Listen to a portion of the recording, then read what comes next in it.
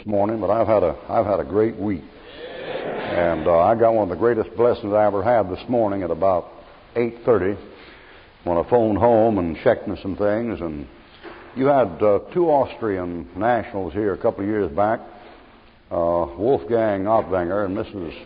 Johannes, and we bought them a round trip ticket to Austria, uh, June, and they both went over there, and they're both back and they've been teaching 20 to 30 people Bible over there, and they led 12 Catholics to Christ in, uh, in Bad Ischl, Austria.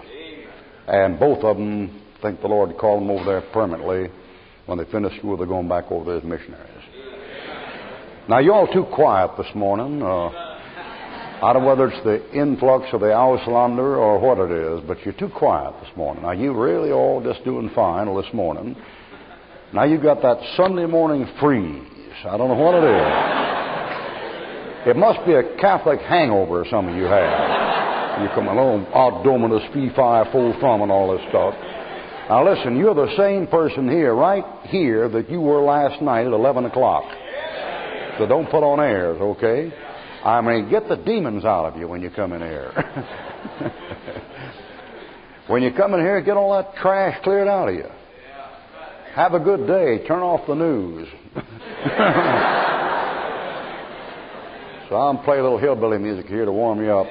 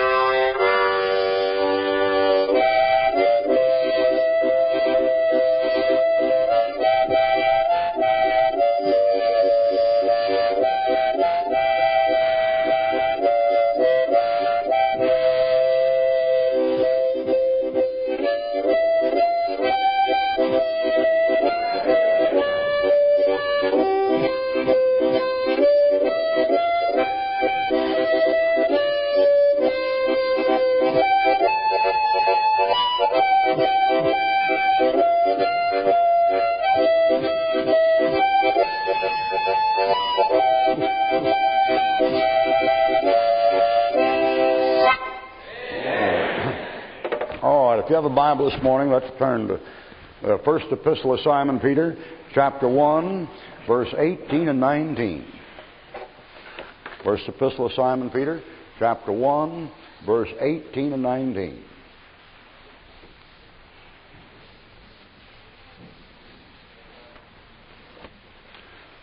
Now, in 1 Peter chapter 1, verse 18 and 19, the Holy Spirit has told us something, and He's told us that we're redeemed and were redeemed uh, not with corruptible things, such as silver and gold, received by the vain conversation or the tradition of your fathers, but by the precious blood of Christ, as of a lamb without blemish and without spot.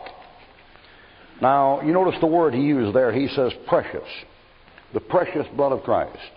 Did you ever stop think what a, what a vulgar statement that is? I mean, imagine to say that somebody's blood is precious valuable, precious blood.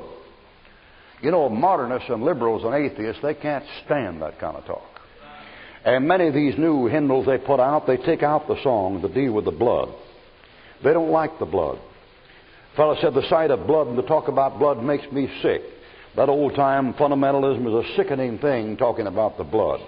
Gus Hall, one of the former presidents of the Communist Party, said if the Christians like the blood so much, let them be strangled in their own blood at the altar. That kind of thing. He's a saphead if there ever was one. Uh, the kind of people who kill people are not people that believe in blood. The kind of people that kill people are people that don't believe in it. Isn't that a strange thing? We bloody Christians that believe in the blood of Christ to save us, we don't kill anybody for their religious beliefs. The bunch that kill him for the religious beliefs are the ones that mistake the blood for a wine bottle. You better get that straight, too.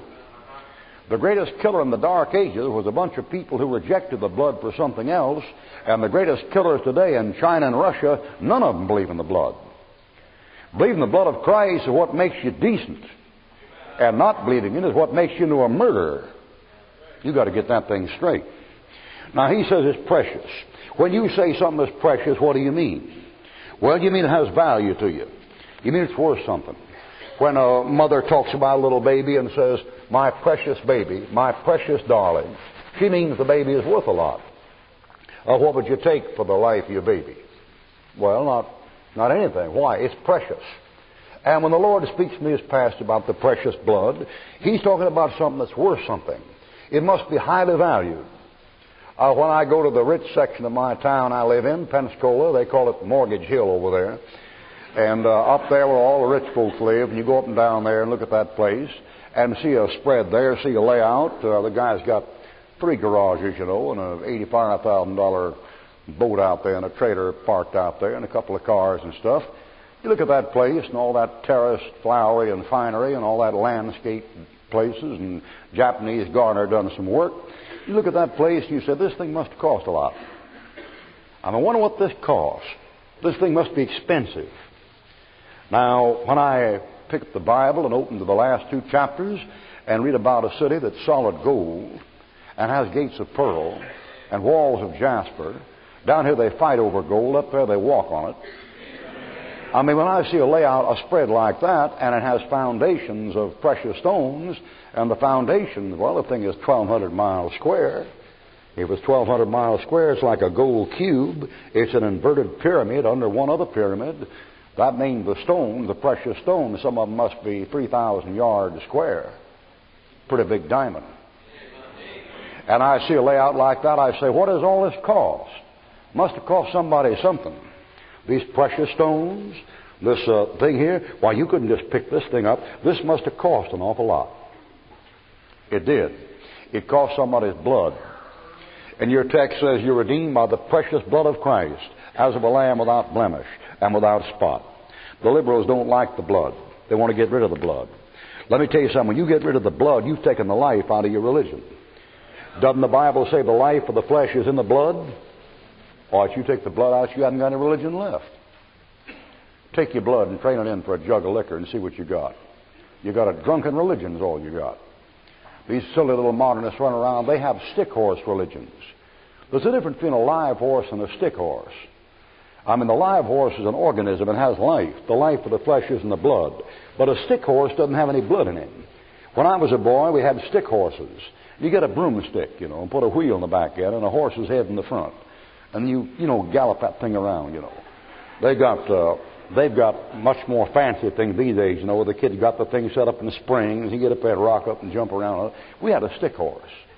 And that's what some of you folks got here this morning for religion if you'll pardon my saying so, you got a dead stick. you know what's wrong with it? There's no blood in it. The life of the flesh is in the blood. You people shouldn't object to the blood. You're bloody people. God knows that. Cut your nose and find out. How you going to be saved by a little stick horse religion? You take the little stick horse religion, you know. Pretend he's horse. Giddy up, you know. You take him to church, you know. Water him on the sacraments and run him around, you know put a wafer in his mouth, you know, and run him around, you know. You know what the tr- you know what trouble you is? You got a dead pole. That's your problem. Amen. Oh, I didn't mean I didn't mean it that way. I don't know how it came out that way. Lord, I just don't know how it came out that way. Now you take you take that kind of thing. The life the flesh is in the blood. When you drive by a wreck and look around on the ground, we know what you're looking for. You're not looking for broken glass. I mean, people they're they're hypocritical about those, especially unsaved people. I mean, the blood makes you sick. What do you watch the prize fights for? Some of you fellows sit around there 15 minutes looking at that glove, you know, tip of that glove, that left glove, you know. You know what you're looking for? You're looking to see if it's shiny got some blood on it. Did you ever hear folks say, Well, I'm loyal to the red, white, and blue? or the good old red, white, and blue. How come you always say red, white, and blue? You don't believe the Bible, do you? Well, watch your language. Why don't you say the white, blue, and red? Why don't you say the blue, red, and white? Or the blue, white, and. How come you always say red, white, and blue? Because you can't be clean white till you've been washed in the blood red. You don't get to heaven blue till you're clean. Here a bunch of unsaved people going around giving the plan of salvation, don't know what they're talking about. Red, white, blue. That's the right order. That's it. You know, years ago we had a program called Town Hall Tonight. And Town Hall Tonight was a kind of a, uh, you know, it was a 1940 Johnny Carson show. And they bring people on there and interview them and talk for a good while, around an hour. You get a lot said in an hour. One night they had a panel. And on that panel, they had represented every shade of uh, religious uh, profession you could imagine. They had a neo Orthodox there, and a new evangelical, and a fundamentalist. And they had a conservative, and a dead Orthodox conservative, and an apostate conservative, you know, and a, and a nothing Arian. And they had all kinds of things on there. And one time in the middle of that broadcast, a layman, a Methodist layman, said to a Methodist bishop on that broadcast, he said, Bishop, would you tell us what the blood of Jesus Christ means to you personally? And that bishop gave a little talk on what people taught about the blood. And when he got through, the Methodist layman said, I'm afraid you don't understand me, Bishop. What I said was, What does the blood of Jesus Christ mean to you personally? And the bishop talked a while about the love of God theory of the atonement and the vicarious theory of the atonement and the governmental theory of the atonement and the propitiation. went through that stuff. And when he got through, the layman said, I'm afraid you don't understand what I said, Bishop. What I said was, What does the blood of Jesus Christ mean to you as an individual? And in one hour of that program, that bishop never could answer. You know why he couldn't? Because it didn't mean a cotton picking thing in the world to him. Just like some of you sitting here this morning. Some of you doctors and lawyers and physicians and college educated people, you know what the blood of Jesus Christ means to you? Not one fool thing in this world. And you know it and I know it. You can talk about it, you can expound about it, but to you personally, there's no contact. And I'm going to talk for a while here this morning about what the blood of Jesus Christ means to me. And I'm going to tell you why the blood of Jesus Christ is precious to me. And you can look at this whole sermon this morning as a personal testimony, if you like, because I'm going to talk about why it is precious to me. The blood of Jesus Christ is precious to me. Don't you ever ask me that question that fellow asked a bishop and then not get an answer, because you're going to get one. All right? What does the blood of Jesus Christ mean to me? It's precious to me. Why is it precious to me? Well, first of all, it redeems.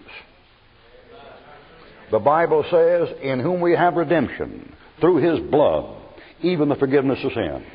What's redemption? Well, redemption is buying something back that was sold. You ought to understand that when you go by a hock shop.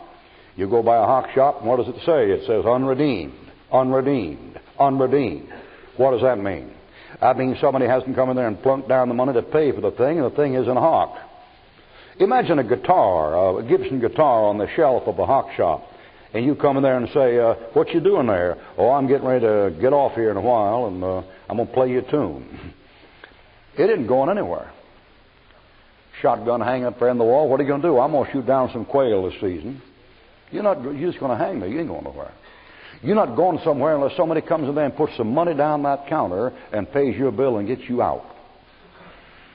And according to the Word of God, we're sold under sin. I was in the devil's hock shop, and I was hung on the wall, I was his property.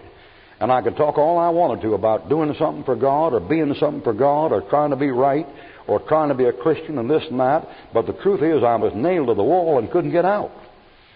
You know what happened?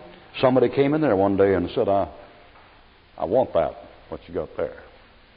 The proprietor said, That's very expensive. And the buyer said, I'll take it. And the proprietor said, You don't know about that thing up there in the wall. It'll break your heart. And the buyer said, I want it anyway. And the proprietor said, What are you willing to pay for it? Said, You name your price.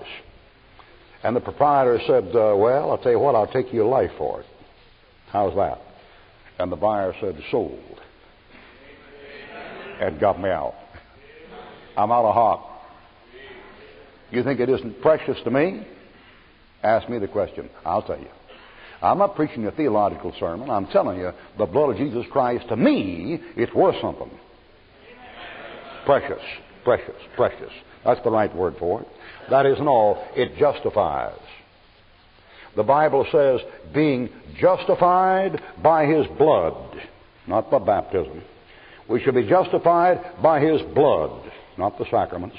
Justified by His blood, not by works. You say, well, James says, you don't know what James says.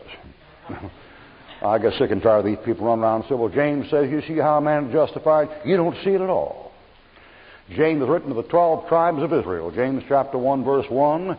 And the 12 tribes are not present here this morning. So don't worry about it. You're justified by his blood. A fellow said, What does justified by his blood mean? A man said, Well, when a man is justified, he can say it's just as if I'd never sinned. Well, that's true legally. Now, sin won't leave you any better than it finds you. You'll always have the results of sin in your body somewhere. Uh, sin doesn't leave any man any better than it finds him. And you'll pay for your sins. You pay for them now in the sense you reap them. And you pay for your sin to the judgment seat of Christ in the sense you may lose rewards for the way you've lived as a child of God. But legally, officially, in God's sight, your standing in Christ is perfect and you're declared to be just. You know, when a fellow serves time in a chain gang and gets out, he goes back to his neighborhood and uh, somebody says, Well, what happened? He says, Well, the judge found it was a mistrial and he declared I was innocent. Well, you go back and your neighbors don't ever forget. They'll talk about you the rest of your life. So, fellow, you know, he's over in Slam City, you know, playing rock hockey in the county pajamas. I mean, they'll, they'll talk about you, you know, that, that way. but you know, as far as God is concerned, He not only forgives and forgets, but declares you're right. He doesn't simply say there was a mistake. The Lord says, this fellow is right. You're justified. Justified. If nobody ever forgives you, God will forgive you. If nobody ever forgets, God will forget. You'll take care of the thing and put the thing away.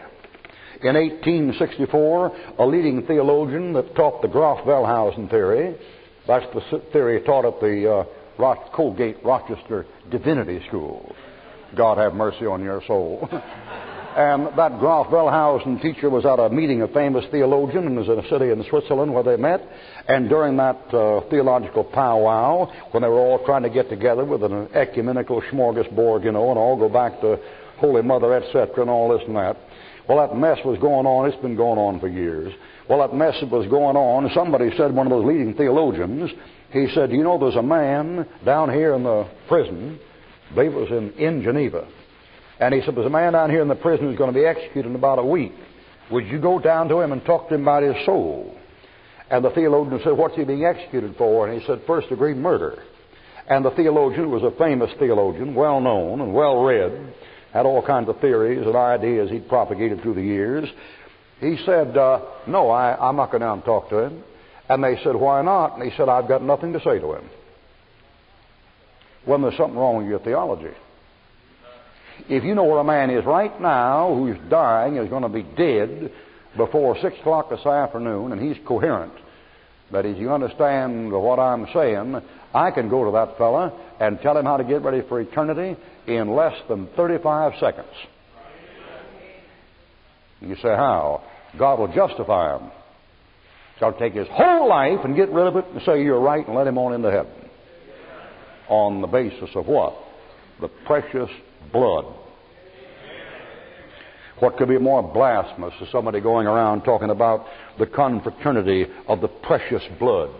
And the precious blood this, and the precious blood that, and the precious blood this, and the precious blood that, and trying to kid you into thinking it's a jug of liquor. What an obscene, vulgar blasphemy. Amen, amen, amen, amen, amen. Any Episcopalians here this morning?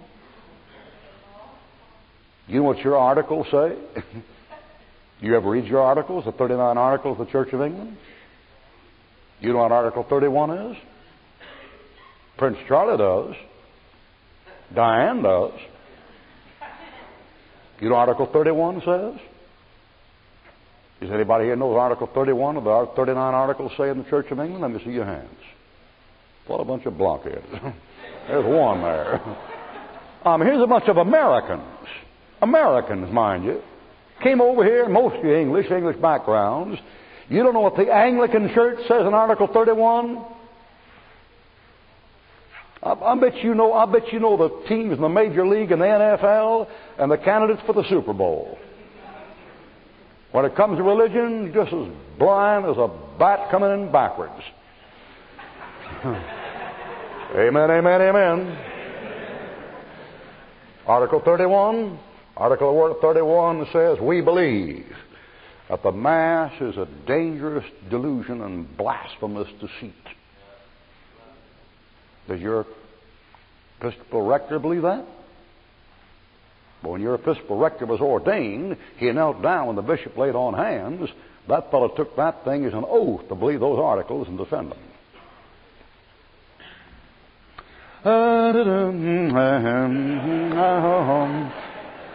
We're just starting. We haven't got anywhere yet. We're going to be a long way with it, you know.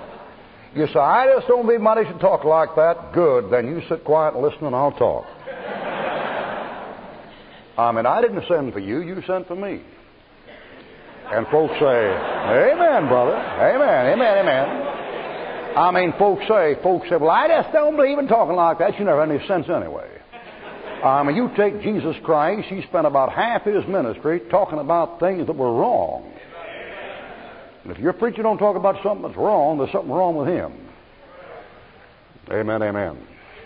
The blood is precious to me because it justifies. That is, no, it blots out sin. The Bible says blotting out, blot, blotting out the, the, the ordinances. The, the handwriting of ordinance was against us. Sometimes you get talking right at the same time, it gets complicated. When you go home today, sit down on a piece of paper and try to write John 3.16 while you're quoting John 1.12. it blots out sin. Praise God, my sins are blotted out. You say, how do you blot them out? How do you blot anything out? You take a blackboard and put a bunch of chalk marks up there, and you take the eraser and go across and you blot them out. Where'd the chalk go? It went into the eraser. Christ blotted out my sins. Where'd my sins go? On Him. On Him. Bible said Christ bore my sins in His own body on the cross, that I, being dead to sin, might live unto righteousness. By whose stripes, by whose stripes I'm healed. Jesus Christ died for sinners. God made him to become sin for us who knew no sin, that we might be made the righteousness of God in him. Christ hath redeemed us from the curse of the law, being made a curse for us, for it is written, Cursed is everyone that hangeth on a tree. One time, a little girl was at a, a coming out party, a welcome party or something, where her mother was holding for a bunch of guests, and among the guests there was a liberal preacher there with his collar on backwards, walking around the guests, you know, and talking about this and that. And he happened to engage in a religious conversation, with this little girl, who was a saved little girl. And he got talking with her about this and that, and she said, Well, I know a good song. And she began to sing, you know, Praise God, I can shout. You know, he blotted them out, you know, that little song. And she got singing that song and irritated that fella. And when nobody could check on him and see what he was doing, he pulled up alongside that little girl and said, God can't blot out your sins. The little 10 year old girl said, I didn't only cast them behind his back. And the modernist said, God doesn't have any back. Said, well, the Bible said he put them behind his back. And the liberal said, well, what if he turned around? And the girl said, well, if he turned around his back, and still be behind him, and that's where my sins are. I mean, I mean, sometimes out of the mouths of babes and sucklings thou hast perfected praise. The blood is precious to me because it blots out my sins. That isn't all. The blood draws me nigh to God. That means to draw near, to draw nigh. It's the blood that gives me access to God. Uh, God made us, and uh, we're bloody creatures. I don't know how many quarts of blood we have in us, but I know we got more than one. And it's going to take blood to save us. And when Christ comes and gets to Gethsemane, he sheds sweat drops like great drops of blood. I'm, i get near God by the blood. What could be what could be more precious than that? When I go to God, do you think I have to go through a battery of secretaries and a chamberlain and a front door and, a, and the SS and the CIA and the chauffeur and the, what? I just walk right in the office. Down there in Pensacola, Florida, I've got a little school down there and I have an office and people have to get an appointment to come and see me, or at least knock on the door before they come in. Now, if one of my boys had trouble, Mike or David or Pete, if one of them had trouble and wanted to come and see me, they wouldn't have to knock at the door. They'd just open the door, come around, and sit down. They're always welcome there. You know why? They're my sons. Did you hear what I said? They're my sons. Remember that message Brother Sabaka preached you about the, you know, going to the Father? That's the business. I don't have to mess around with Hail Mary, Hail Joseph, and Blessed John the Baptist. Let them do their own praying. amen, amen, amen. I can stand here right here and close my eyes and say, Lord, bless this message and save some soul for Jesus' sake, amen. And I've been in the throne room. You still don't believe it. Well, that shows the kind of company you've been keeping. That Bible says, listen, let us come boldly to the throne of grace. Through him we have access to God. He that is joined to the Lord is one spirit. We're seated together with him in heavenly places. Candlelight said to me one time, he said, nobody can know whether they're going to heaven or not till they die. I said, boy, you got the thing wrong. I said, I'm in heaven right now. He said, well, you're not in heaven right now. I'm looking at you. I said, you're looking at my body. Why, listen, the Bible says we're seated together with Him in heavenly places. When His Spirit contacted my spirit and gave my spirit a new birth, I'm part of Him and He's part of me, and He's up there and I'm up there with Him. When I walk in the throne room, I just open my mouth and I'm in. You see, who got, who got me there? Jesus Christ got me there. How'd they do it? Through His blood. That's why it's precious. Why, you know, before I was saved and was an Episcopalian, raised that way, we had a prayer book. And every time you got in a mess, you'd look up the proper prayer, you know. you know, prayer for this and prayer for that. And if you got, you know, snake bit, this kind of prayer. And if you're poverty stricken, this kind of prayer. And got a headache, this kind of prayer. And got trouble in the family, this kind of prayer. I've often thought about that since I got saved. I mean, wouldn't it be terrible if you're like Simon Peter and you're out there in the water drowning and had to get out your prayer book and go through the index? prayer for a drowning seaman. what if this building caught on fire right now? You have to look up for prayer for a Baptist about to burn to death in a church. you saw Ruckman, you're being facetious and sarcastic. Sure I am, but it isn't dumb as some things some people do. Um, you ever notice when some folks get in trouble, they bypass Mary and go right to the head? Did you ever notice that? When a fellow's really in trouble, he doesn't pray Hail Mary. He says, Oh God. And you know it and I know it. When Wallenda fell off that tightrope about three years ago, do you think he wasted any time with Mary or Joseph? He's falling down screaming, Oh my God. And that crowd under is scattering, yelling, Oh my God. They know who to go to. The blood of Jesus Christ gets me into the throne room where I have access to the Father. It's precious to me. That isn't all. The blood of Jesus Christ is precious to me because it gives me the thing the whole world has been fighting for for 5,000 years. Peace.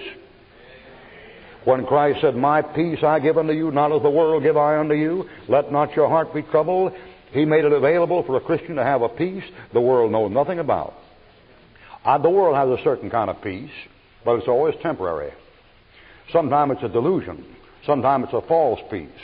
There's a peace the world has where you're in a concentration camp.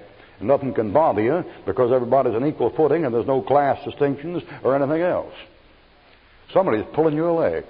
You get in a place where there's no class distinction, no discrimination, everybody treated equally, and everybody, all they got to do is just do what they're told. The condition is called slavery. You may be working toward the wrong goal. Now I have peace with God. What?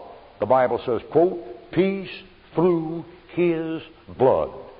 Things between me and God are settled. Now they may not be settled between me and my fellow man. And I might have problems along the way. But as God is my witness, if I had to lie down the ditch tonight and die of radiation and fallout burns and die with my family dead and die in agony and pain in the ditch, there's one thing that's fixed. And that's the relationship between me and the Lord. I may have to worry about a lot of things. I don't have to worry about going to hell. It's taken care of. With him and me, there's no, there's no problem. It's peace. Peace. You'd think a, a, a country or a world is nutty about peace, as our modern world is. You'd think they'd be interested in the blood of Christ, wouldn't you? Isn't it strange? All these peace conferences, summit conferences, and peace in the Near East, and peace in the Middle East, and let's all work together for peace, and let's maintain the peace. And how can we have peace? And let's bring peace between. How come not interested in that? Peace through His blood. R.A. Torrey for years and years used to stand at the door of his tabernacle when he finished preaching, and he had a gold piece in his hand, a $10 gold piece. And R.A. Torrey would say toward the end of the message, I'm going to be at the rear of the tabernacle, and as you pass out, I'll give this $10 gold piece to any man who'll shake my hand and look me right straight in the eye and tell me you're happy without Jesus Christ. Nobody ever took it in 25 years. Now they would today. Because people today are crooked, they've degenerated. Some guy now would do it just to get it. But back in those days, unsaved men had more character. And one day, when the banker was going out that door, Torrey stopped him going out the door, knew he was unsaved. And he said, that banker said, Sir, wouldn't you like to take this gold piece? And that banker looked him right straight in the eye and said, Of course I would. But he said, No man could take it in the conditions you didn't name. Went out the door.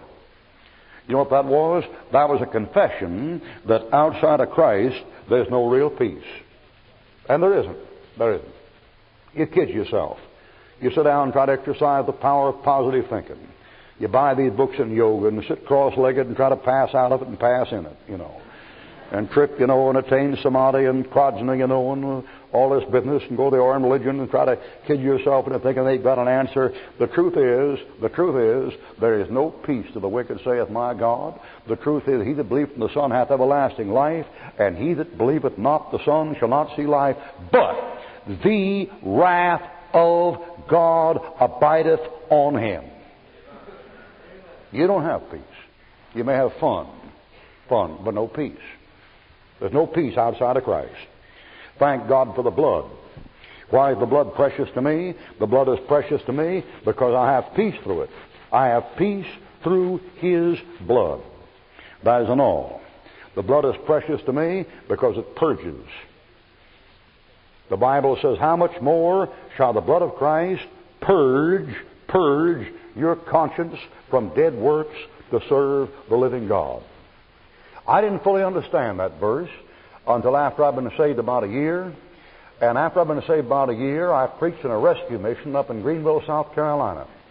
And I didn't preach, I just actually gave a testimony.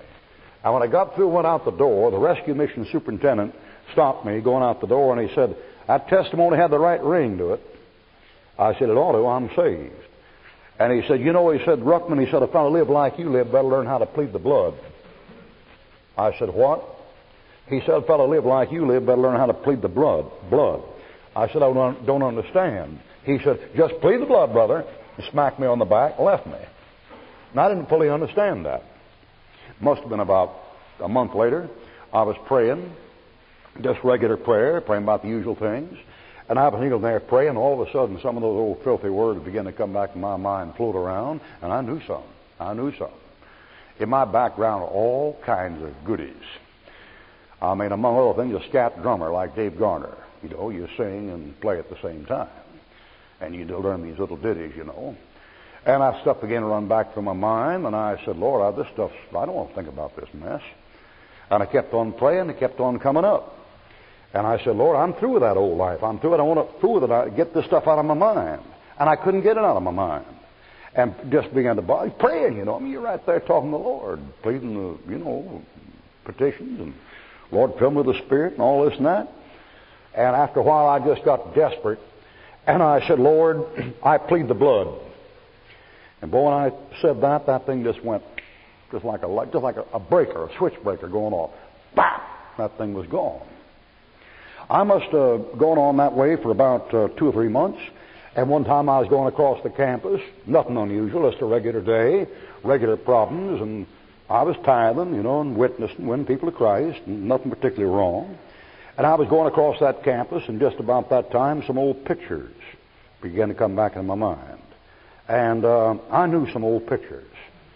I mean, uh, you talk about something being precious. I wouldn't trade the blood of Jesus Christ for all the gold and uranium and plutonium in the universe. I mean, I've drawn some pictures in my day. And let me tell you, I went across there and those old things began to come back and I said, Lord, I don't want this mess bothering me. I'm through with it. And it kept coming back. And I said, Lord, this stuff is driving me crazy. I want to get out of my mind. And I pled the blood and it disappeared for about 15 minutes. Then it came back. And I got desperate. And finally, instead of trying to fight the thing and subdue the thing and suppress the thing, you know what I did? I took those old pictures and just magnified them, just blew them up like you're putting them on a giant screen. And I said, I'm going to give them to you, Lord. There they are. Just take them, you can have them, and just take them and soak them in the blood of Jesus Christ. Blap! just like a breaker. That's something the shrinks in this town don't know. Why don't you try it? Think I'm pulling your leg, don't you? Think I'm just preaching, don't you? Okay, stupid, why don't you try it? Then talk, okay? I mean, proof's in the pudding, ain't it? You're empirical, aren't you? You're objective. You're existential. Sure you are. Try it. If you think it doesn't work, try it. And tell me about it. The blood of Jesus Christ is precious to me because it's a present thing. Whatever that blood was or whatever happened, I don't understand all of it fully, but I know one thing. I know right now, standing here, the blood is available for a sinner. And I can appropriate it and apply it, and it'll purge my conscience from dead works. What I used to do to serve a living God. What could be more valuable than that? That isn't all. It cleans. It cleans. The Bible says the blood of Jesus Christ, God's Son, cleanseth us from all sin. One time I was up in Bryson City in Tennessee and going along up there preaching, I got bugs all over my windshield, and uh, they're smashed all over there and some other goo. And I went by some uh, filling station. The guy came out there with a rag and worked that thing, and he got everything off except one spot. And he must have worked on that for 15 or 20 seconds with all kinds of fluid and Windex and everything else and couldn't get it clean. And I was inside the car in a hurry, and the guy kept fooling around with it, fooling around with it. And finally, I said, uh, I said, try inside. and he reached around inside the windshield and wiped that thing, and it came right off. See, he was wiping the wrong place. And that's what folks do. They clean up the outside. They join the church, you know, and take their sacraments, you know, and get their baptism in their church, do the little golden rule, you know, and the little good deeds, and help the cerebral palsy fund, and the cancer fund, and the heart fund, you know, and all that kind of business. That's the outside. The trouble's inside. My little girl Priscilla, when she was about six years old, got in some bad trouble with me, and she was fooling with some ink, and I told her twice to leave it alone. And finally I told her, I said, honey, that's indelible ink, and that means when you get it on you, it won't come off.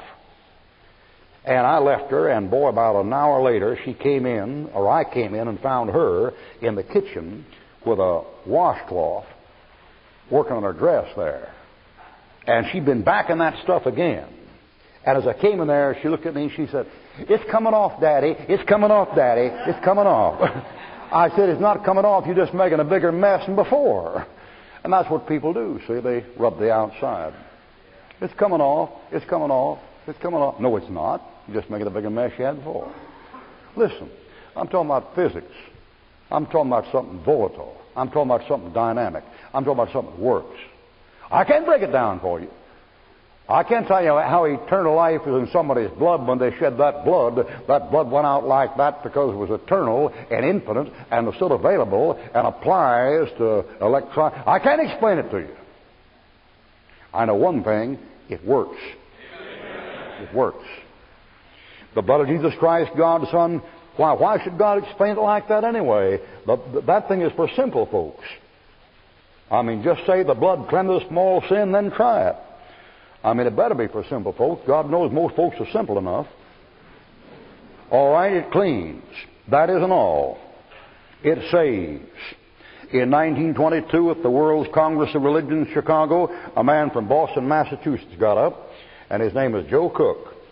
And Joe Cook got up after all the religious plenipotentiaries had spent hours discussing theology and discussing religions. They were all trying to get together, you know, on one ecumenical ball and get back to Holy Mother, etc. That's an old gag. They've been doing that for years. And 22, they got up there and got tried to get the Hindus with the Brahmas, and the Brahmas with the Buddhists, and the Buddhists with the Taoists, and the Taoists with the Mohammedans, and the Baptists with the Methodists, and the rest of the Catholics, and the Catholics the Presbyterians. And after arguing for weeks, getting nowhere, they came near the end of the thing. And there was a saved man there named Joe Cook who had about all he could take. And toward the end of that thing, when it came his time to speak, instead of wasting his time going back over matters again, he got up and quoted a passage from Macbeth. And all he did was get up there on that platform and wave his hand and say the line of Macduff and wave that hand and said, How cleansest thou this red right hand? Now, what he meant was to those fellows, I've just killed somebody, got blood in my hands. Now, how to get clean? Nobody could tell him nothing in that bunch. The liberals said, well, think beautiful thoughts and life will be beautiful. that doesn't work. The Catholics said, well, if he'd joined our church and taken catechism and instruction, he probably wouldn't have done it. And if he'd done it, it'd prove he wasn't a Christian to start with. That doesn't, that doesn't take care of it either. And the Buddha said, well, get rid of your common and sit cross-legged and pass out of the frame. you know, the next time you come back, you may come back as a monkey instead of an insect. I mean, you can't, you can't, you can't get the thing fixed up. How cleansest thou this red right hand? I'll tell you how. The blood of Jesus Christ, God the Son, cleanse us from all sin. Come now, saith the Lord, let us reason together. Though your sin be as scarlet, it shall be white as snow. Though they be red like crimson, they shall be as wool. That's how you get clean. You get clean like that. I mean, why waste money spending $100 an hour talking with some shrink to get, bad, uh, get rid of a guilty conscience when the Lord can take your conscience and clean it and take the deed and get rid of it and clean you up? Jesus saves. I know it sounds like kind of a trite cliche, and people get awful tired to look at it. They make fun of it throughout the world. King Kong saves and all this and that. King Kong doesn't save. Buddha doesn't save. Where'd you read about Joseph saving anybody? Christopher doesn't save. Mary doesn't save. Hitler never saved anybody. Neither did Bismarck. Neither will Reagan. Neither did Roosevelt. Neither Abraham Lincoln. There's only one man that saves people. That's Jesus Christ. Thou shalt call his name Jesus. Quote, for he shall save his people from their sins. Years ago, we had a terrible thing happen, and people forget those things pretty quickly. you take, are not very many people here this morning that are worried about what happened to the uh, veterans in Vietnam. That's already gone. So I couldn't expect you to be excited about the prisoners of war in Korea that never got back, because that's even further back. It's amazing how quick people forget. Those terrible things people go through, they throw them behind them, the sun comes up, the sun goes down, and life goes on. Life goes on some way. But years ago, and around 42, we had in the Philippines what we call the Bataan Death March. And there isn't anybody that thinks much about it. I mean, some of you probably never even heard of it. But you take when the Japanese came in to the Corregidor and took them prisoner, they took them up the road to Cabanatuan, up there to Camp O'Donnell in 42, then to the penal colony in 1943, and route to Japan. December 44, they were what they call the tennis court in Luzon, and finally wound up in Formosa. And out of something like 5,000 of our young men that went that march, 300 of them got back. 4,700 of them starved to death or were shot or beheaded or murdered or tortured to death. They made them bury them alive. God get too weak to put them in a hole and make them bury them alive. Men have always been wise to do evil. Always been, and not wise to do good. You take in World War II, they had all kinds of ways of torturing them, and they still have them. And they took, they took them and beat the brains out with shovels and this and that, and they died. They died by the hundred. They died by the thousand. Some of our boys, uh, high school educated boys, they weren't, uh, they weren't stupid. They were educated kids.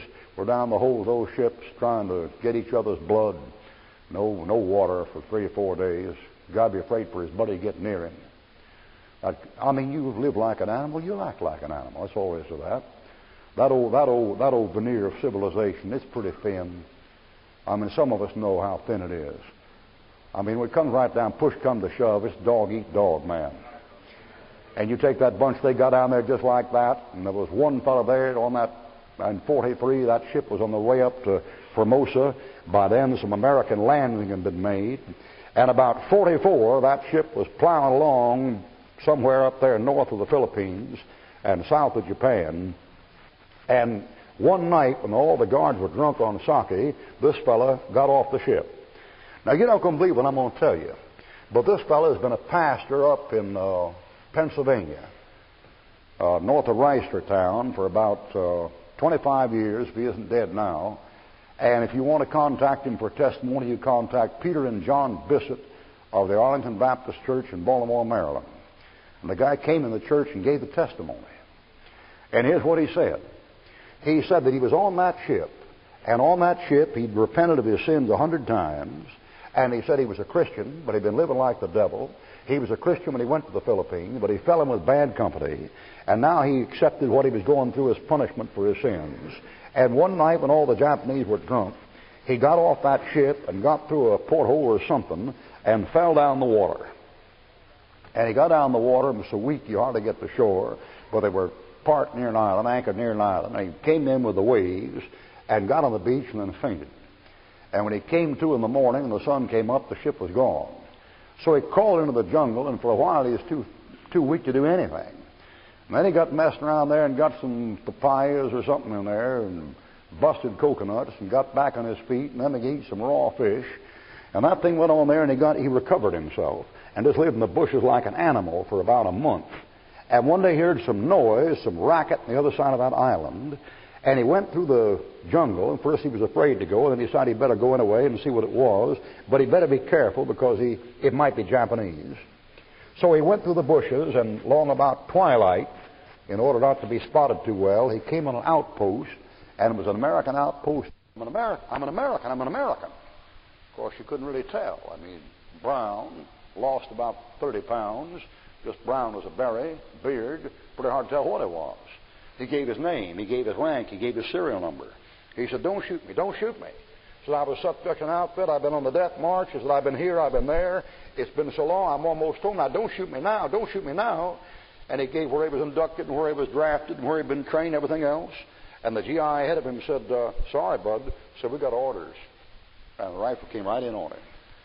And the kid said, "Well, let me, let me pray before you shoot me, okay? But let me pray before you shoot me." And the GI said, "Go ahead." and he knelt in front of that muzzle. Don't you know that was a scene? And he prayed. Here's what he prayed. He said, Lord, he said, they're going to get me. He said, I'm not going to get back home. And I've tried to get back home, and you've helped me, and I appreciate your help, but I'm not going to make it. He said, Now, Lord, I'm going to die. And he said, I'm going to have to see you. And he said, When I come up before you, there's something I don't want to have you do. Don't, don't remember my sins, Lord. Don't remember my sins. If you do, I can't possibly get by. Don't remember the, the bad things I've done, or I can't make it. And don't remember the good things I've done because they don't count anyway. And he said, when, when I see you in just a few seconds, just remember the blood. And when he said the blood, that GI lowered the rifle and said, That's the password. Come on in. now, I don't know whether he said it seriously or whether he got so shook up he couldn't carry out what he was going to do, but that's what happened. And the guy got in. You want to get in? Well, there's a password. And it's precious. And if you couldn't stand up right now in this building and tell me why the blood of Christ is precious to you, it's because you have made no contact with it. And if you ever had, you'd know exactly what I'm talking about. I bet some of you characters in this building haven't really understood a word I've said since I've started. The truth will know. You know nothing about the blood. You know, I get thinking about that thing sometimes. And I say to myself, isn't, isn't, isn't that something? Don't, don't you know the Lord's a character? I mean, the Lord knew He was going to save that guy and call him to preach. that guy pastored a church up there 25 years. That fellow, he thought it was all over, and the Lord knew it was just beginning. I wonder sometimes about that, what to do up in heaven when something like that happens. The Lord says, Hey, Michael, you want to see something? Look at this.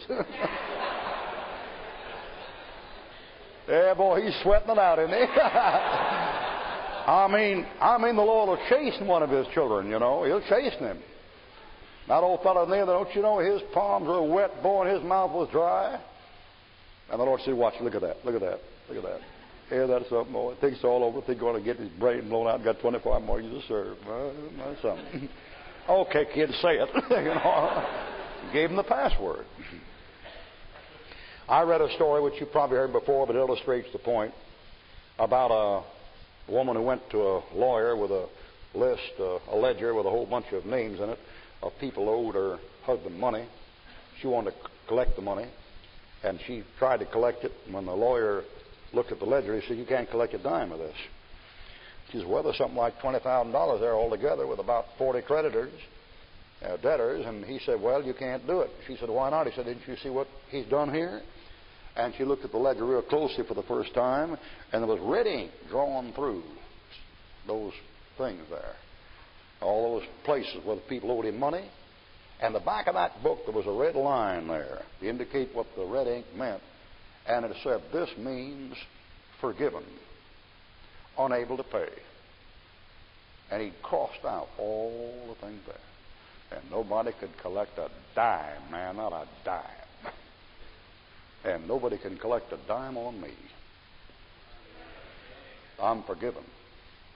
You know why I'm forgiven? Unable to pay.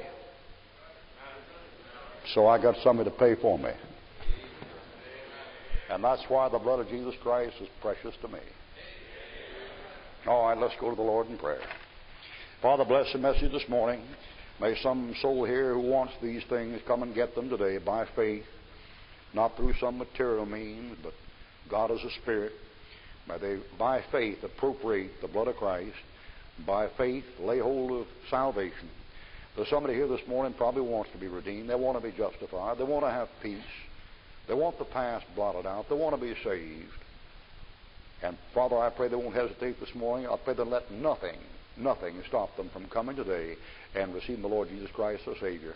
When they go home and sit down the meal today, may they know why you said what you said in this book when you said they're redeemed by the precious, precious, precious blood of Christ as of a lamb without blemish and without spot. Amen. Let's stand to sing an invitation hymn. Like to have a stand to sing. You all know this hymn by heart. Now let's don't have body moving in and out while we sing here. Let's concentrate a little while. Pray a little while. Don't you want to see somebody saved today? How many of you like to see somebody this morning come and trust Christ? Let me see your hand. Right, if you're here this morning, you've been thinking about receiving Christ and confessing Him, you see where you are. You're among friends. They want to see you come. You got everything going for you right now. An hour from now, it may not be that way. An hour from now, it'll be the world coming in again. I mean, we take you to Russia for sports, we take you to Germany for sports, and now we go to Switzerland, and now we go to Las Vegas, and now we're down to Cuba. Your mind just balled up and screwed up where you don't know where you're at. Now you're here this morning, you know where you're at, you know whom you're among, you've heard the truth. Now God help you to do something about it. Let's just as I am without one plea.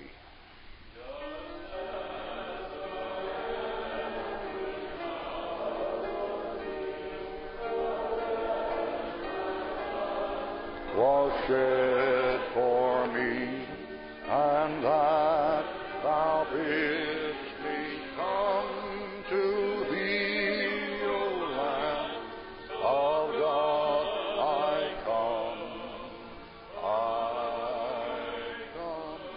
Now, people down here in front of here to meet you when you come, have a word of prayer with you, and lead you to Christ. Now, listen, if you want these things, come on, get them. It's free. Isn't it strange? The only thing in the world that's really free, people turn down. Everything else has a hook in it, got a catch in it. If a guy stands up and says this free, you watch it every time there's some kind of a hook in it. Now, this is the gift of God. It's free, no strings attached. It's unconditional. God so loved the world, He gave His only begotten Son, that whosoever, whosoever believeth, believeth. It's a spiritual operation. It's not a work, it's a spiritual operation. Believeth on him, shall not perish, but have everlasting life. Let's sing the next stanza. Just I am and waiting not.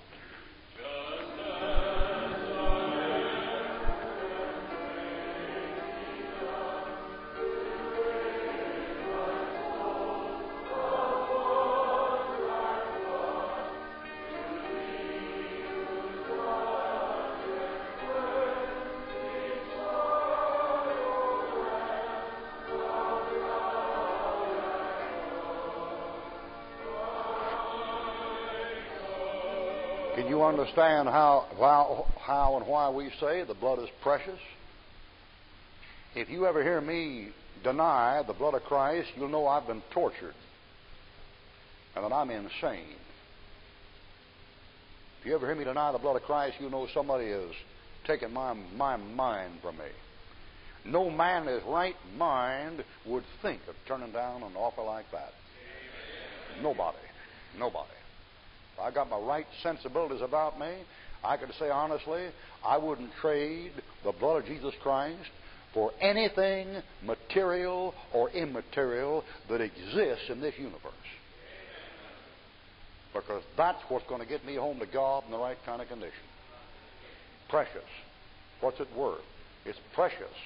It's precious. It's worth more than my wife, more than my children, more than my family. It's worth more than my own life. My own life. I'd be better off dead in Christ, covered with the blood, and happy and home in heaven forever with Him, than I would be alive without Christ, dead in trespass and sin. Precious. Worth something.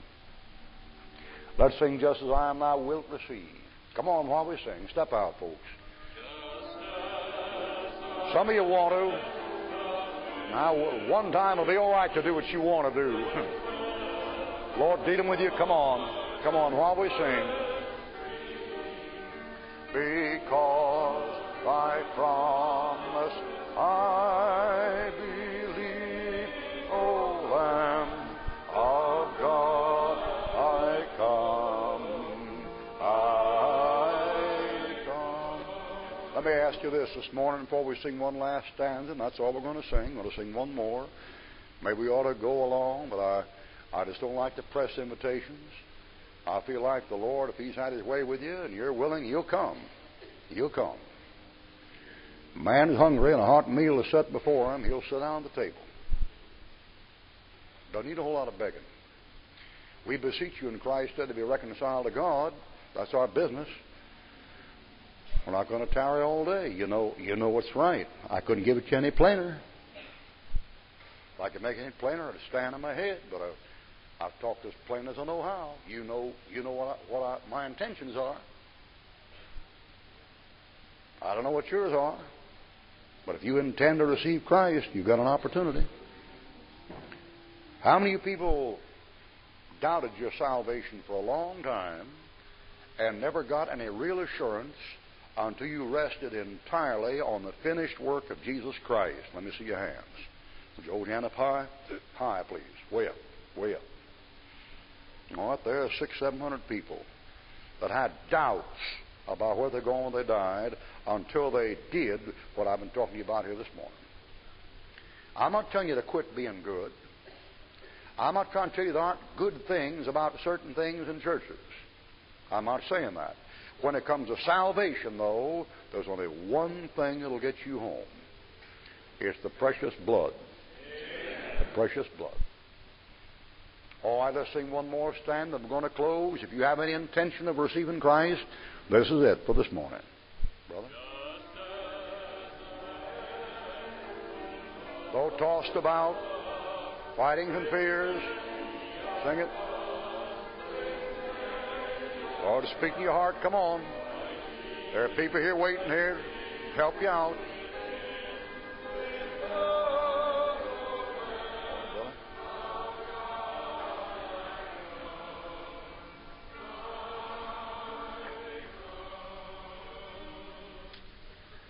Folks are and in prayer at the altar, and consequently we'll prolong this thing just a little bit.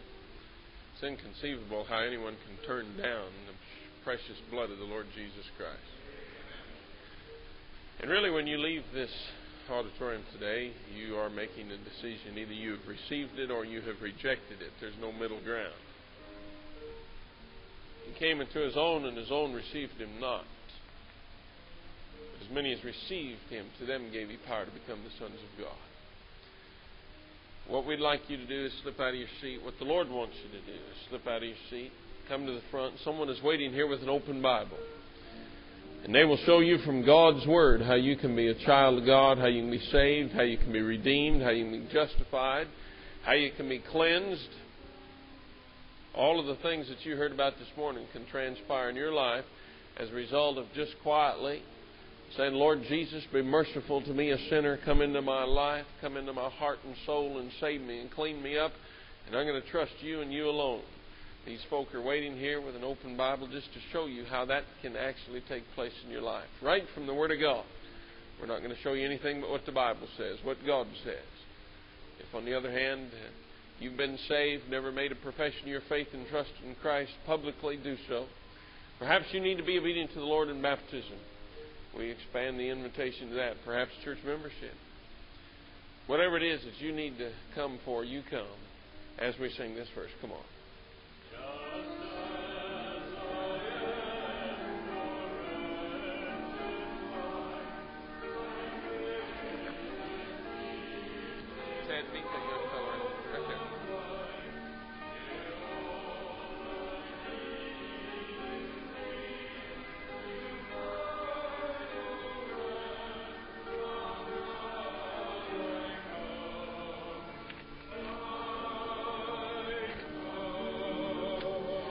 Instruments continue to play for a moment.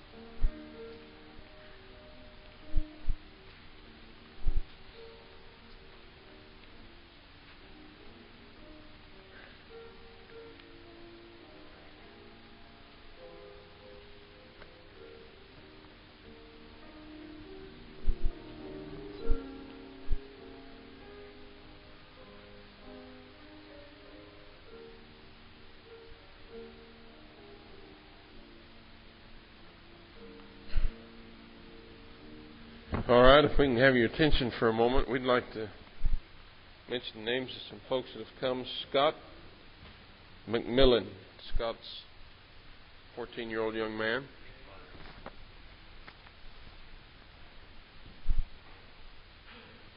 Scott, you were saved the 2nd of August. And you're coming making a public profession of your faith and trust in Christ. You want to be obedient to Him in baptism. Is that right? Scott's mom and dad have come with him. Charles McMillan. Charles, you've been saved back in June the 14th. Is that correct, sir? And you'd like to be obedient to the Lord in baptism? Charles, you understand baptism won't save you. That's what did it. But it's it's something that'll honor the Lord, and I'm glad you're coming. And your dear wife Sylvia. Sylvia, you've been saved. And you also want to be obedient to the Lord in baptism. Boy, it's good to see families do right, and then? Get saved, do right, follow the Lord. Thank the Lord for the McMillans. Amen. Miss Elizabeth, Elizabeth Beth Sheba. Elizabeth, you've come today to ask Jesus Christ to save you and give you eternal life. Is that right? You didn't ask this church to save you, did you? It's a good thing because we couldn't do it. You didn't ask the preacher. You asked Jesus Christ. He's the one that died for you, and He's the one that. I'm so glad you've come. Hey! Glory. John Bennett. Where's John? John, you're a college student, 20 years old. Today you've come to ask the Lord to save you. You learned more in the last five minutes, John, last hour, than you learned four years of college.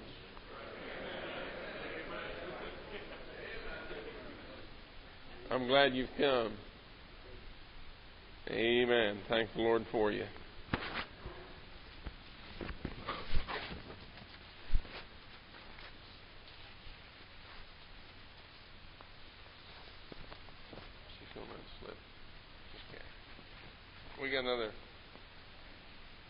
decision here in just a minute. We'll report to you.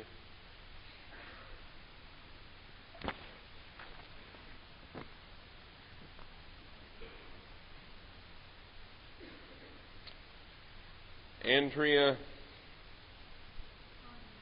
Tornabene. Andrea, you were saved 11 years ago. That's what it says here. Is that right? You're coming looking for some assurance of your salvation. You want to know for sure. Well, the assurance is in the blood, Andrea. Andrea, you're blind with your eyes, but you can see with your soul if you're saved. That's the best kind of sight there is. It just isn't any better. Because that gives you eternal life. And someday God will give you new eyes. Amen. God bless you. Thank the Lord for you.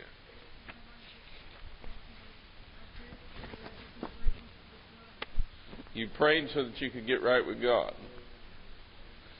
Well, God wants to fulfill that prayer too, don't He? Amen.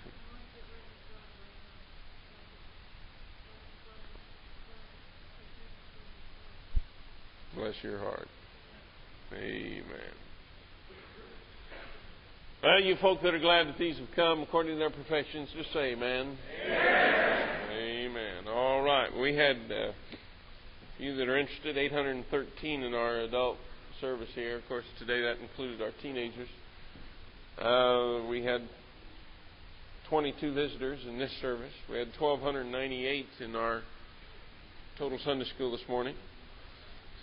Of course, some of you don't know we have a, another Sunday school that follows this one. We got a bus Sunday school that'll start in about 45 minutes, and uh, they're going to bring in a good bunch of folk, and we thank God for it. We had 41 visitors today, totally. And tithes and offerings of ten thousand six hundred and thirty-one dollars and seventy-two cents. We had missions offerings of twenty-five hundred two dollars and twenty-one cents. So we had total offerings this morning of thirteen thousand one hundred thirty-three dollars and ninety-three cents. Amen. Amen. Well, tonight at six o'clock. Now, here's what I want you to do. I'm glad Brother Ruckman recognized this thing. I've only been fighting this thing for eight years. You folk come in on Sunday morning dragging your tail a little bit. I've tried everything in the world to get you to wake up. Isn't that right? Amen. Yeah. Well, I'll tell you. You know, someday, brother, I'm just going to forget having church on Sunday morning. We're going to do it some other time. I don't know. I don't know when. We're just going to do it some other time. Now go home and take your nap this afternoon. See there? All right. And go out to the go out to the fruit stand and buy you a big watermelon. Sit down about four o'clock and eat you two good pieces of it, and take you a cold shower, and uh, come in here wide-eyed and bushy-tailed tonight, and we're going to have a great service. All right, good. Well, it's been a joy to see God work in these people's lives, hasn't it? Well, we had a good time last night, didn't we, men? Good bunch of men. Men's prayer meeting last night. We had lost and saved men there. And uh, I saw lost men getting on their knees and praying. It's interesting, isn't it? It's interesting. Well, let's pray and ask God to dismiss us with His blessings, shall we? Thank the Lord for Him. Brother John Green, red-headed John, pray for us, will you?